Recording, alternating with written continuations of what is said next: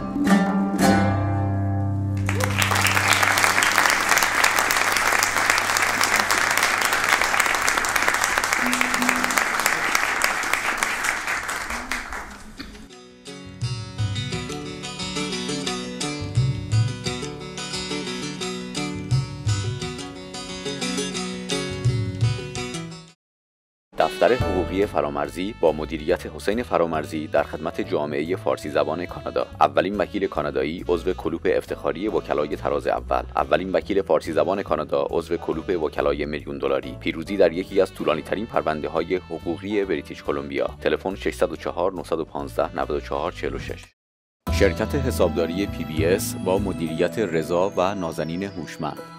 خدمات حسابرسی و امور مالیاتی، تنظیم صورتهای مالی و تهیه طرحهای تجاری با 20 سال سابقه در ونکوور و سه شعبه فعال در نورث شور، برنابی و ترای سیتی. تلفن 604 990 66 68